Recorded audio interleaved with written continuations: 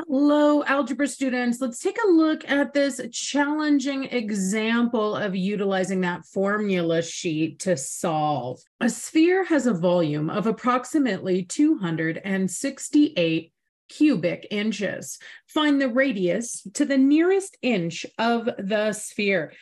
So what are they asking us to do or to find? They'd like us to find the radius. And you might say, Kate, well, there's no radius formula on the formula sheet. And I would agree with you there.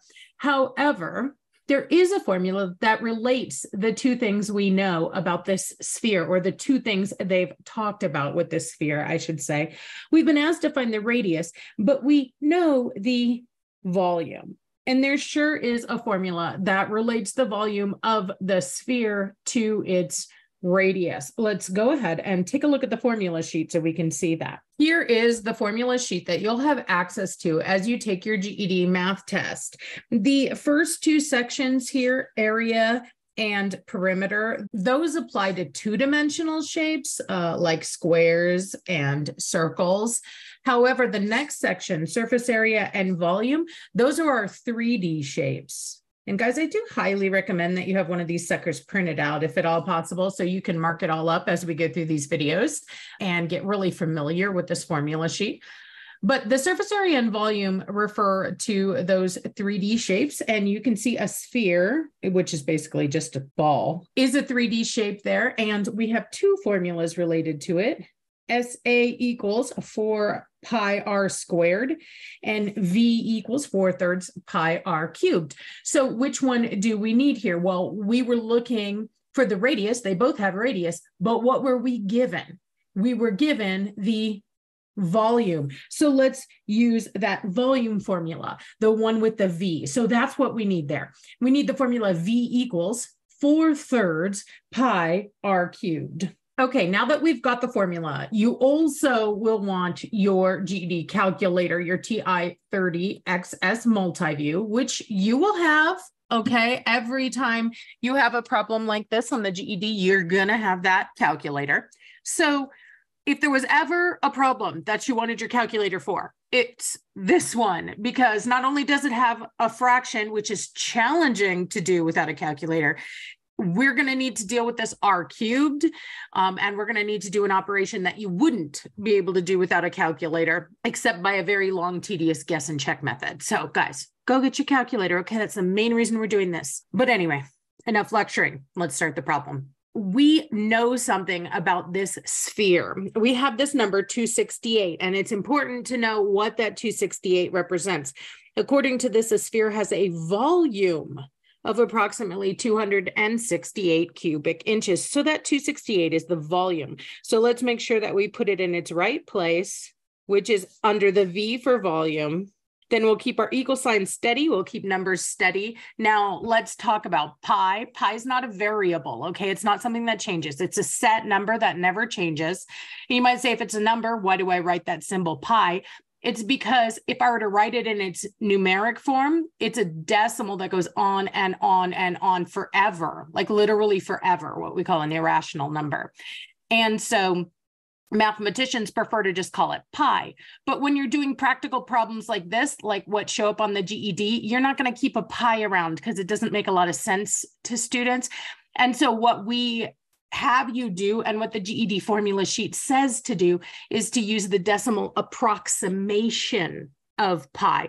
And that's on that sheet right there at the bottom of that little section on surface area and volume. You can see where it says it, but it says pi is approximately equal to 3.14. That's what that little wavy equal sign means. Okay, that's all it means. I rounded. This is just a signal to people that it's not perfectly exactly 3.14. I did round to get it, but close enough. And so that's the value that we'll plug in for pi. And pretty much since it says that on the GED formula sheet, pi is approximately 3.14, you can just plug that value in when you see pi. There are examples in your college class where you'll keep pi around, but I've never actually seen that on the GED test. So we'll just use 3.14. All of that to say, there you go. I replaced pi with 3.14 and now there's my r cubed. Okay, nice. Now here's why I wanted my calculator with me. Lots of messy stuff in this problem. First thing I see here is the fact that I have three numbers multiplying. See how the four thirds, the 3.14, and the r cubed are all shoved together. Those three things are multiplying. Now, you might say, but the r is being cubed. Yes, but that whole entire r cubed is multiplying with the other two numbers. Okay. And the deal is when you're solving equations that if you can do any simplifying before you start solving, do it. It'll make your life easier. And there is simplifying I can do. I can do this multiplication here. Now, good question. I mean, legit question. You could say to me, Kate, you said in the order of operations, I'm going to do exponents before I multiply. And I agree with you but the only thing that's being raised to that exponent is that r. And i'm i'm not going to multiply with that r i'm going to multiply the other two numbers together. And since it doesn't matter what order you multiply in this won't affect that r and so it's no big deal okay? So that's what i'm going to start with. I'll do four thirds and if you know another way to multiply with fractions that's fine. Uh, but this is the way I'm going to do it exactly the way I see it for those students who don't know another way. So 4 thirds times 3.14 simplifies to this ugly number. Now you might say, well, Kate, that just got worse. That's okay. I'm not going to write this whole thing down, but I am going to leave this whole thing in my calculator so that I'm not going to lose any information as I do my work. And then I'll round at the very end. Okay. So it's a very good rule of thumb round at the end so you don't lose any data. I don't think it'll happen too much on the GED because they know that students kind of struggle with rounding. They're not going to make that a huge issue. But when I used to tutor students in their college classes, I can't tell you how many students would be doing their online homework for their math class and submitting an answer again and again and again, where they did all the work right but they rounded so early they lost a little bit of information. And so they just had a little digit off in the hundreds or even thousands place but the computer doesn't give you any feedback as to why your answer is wrong. And so they wouldn't know. They just keep thinking they did their math wrong doing the problem over and over and over again when all it was was they lost some digits. Okay so we're not going to lose any.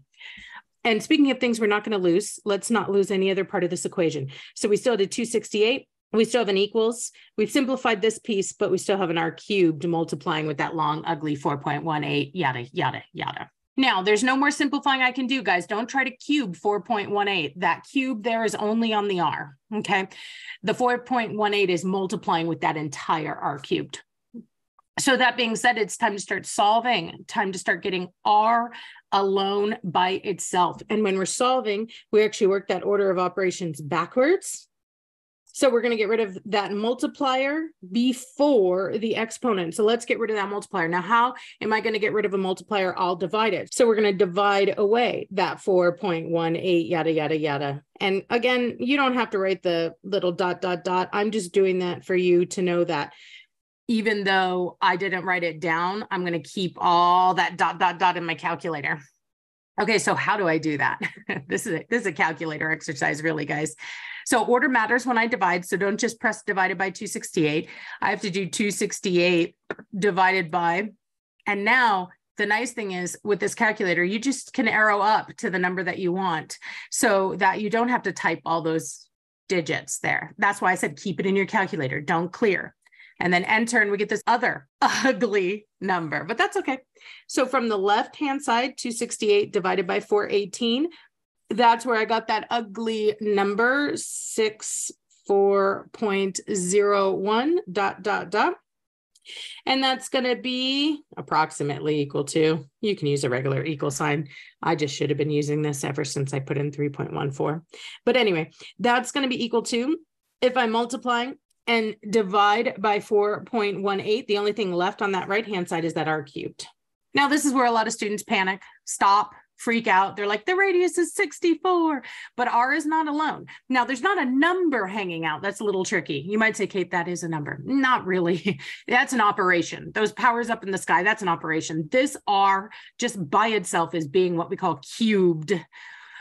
And so we have to know the opposite of that operation of cubing. Okay. So just like the opposite of square is square root, you know, the opposite of cube, the little floating three, is what we call cube root. And it looks the same with that little radical that check mark house. It's called a radical, but it has that three tucked in the check mark. Okay, that's cube root, and that's the opposite of cube. So that's what I'm going to do to get rid of a cube. I'm going to take the cube root of both sides, and we can see once again how algebra is all about knowing what's backwards. Like it's all about knowing opposites, inverses. And so let's see what happens now. Cube and cube root are opposites, they cancel. So I'm going to know about what r is equal to. And then now I have calculator work again. And this one's tricky. If you've never practiced cube root in your calculator, you wouldn't know it. It's kind of one of the reasons why we're doing this. So you actually need to type the index first if you have anything higher than a square root. So whether it's a cube root, fourth root, fifth root, you won't see all that on the GED. You might only see cube root. But if it's a cube root, you need to type the index that's the number in the check mark. So that's the index. Okay, you need to type that first, and then you can use what's called the X root button. So the X root button just has a little X tucked up in here. And you can see that's in green, middle left of your calculator. Anytime you want something in green, you got to hit the green button, and then you can pull up the green functions and see how that three jumped up. Okay, so now we're taking the third root not just multiplying by three. Okay, so the third root, and again, I want to take that whole big ugly number, lose no information. And I'm going to enter that in there. Okay, so I arrowed up, press entered on the number I want, and it selected it. And now I'm going to press enter again to simplify. And I see that my radius is four point, yada, yada, yada. Okay, now we have a yada, yada, yada, which means we need to think about rounding. Rounding directions might be specifically given. You might have a multiple choice where they're already rounded, or it might be something that you just round a certain way because that's how it works in life. Like, for example, money, we don't get any smaller than a cent. But in this case, we have rounding directions. Uh, problem says find the radius to the nearest inch. A lot of students get struggle when it says to the nearest inch or to the nearest foot or a meter or a mile because that's not a place value. But when I say to the nearest inch or meter or a mile, I'm talking about a whole inch or a whole meter or a whole mile. And so what I'm saying is round at the decimal place next number I'm about to throw away is a zero anyway. And so so is everything after that. So it really it doesn't matter. This is really just about four inches. You can see why I wanted to do this one with you, huh? Fractions, cubes, cube root, rounding, calculator gymnastics. It's a doozy. It's advanced honestly, it's probably even a little more challenging than what you'll see on the GED. They like the ones that feature r squared, not r cubed. But the last thing I wanted to have happen was for them to pick this one and you guys to lose your mind. Like, I've never seen this before. So now you're equipped if they try to throw this trick at you. All right, you guys, strong work. I'm super proud of you for sticking with me through that one.